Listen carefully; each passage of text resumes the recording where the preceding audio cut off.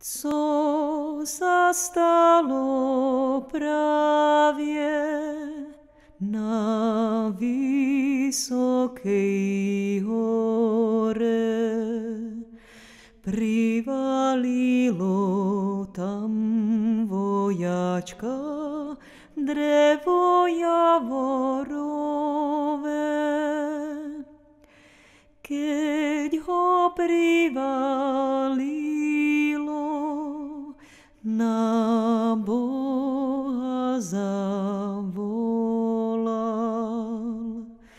Ach Bože môj, pre Bože môj, už sem dobojoval. Ah,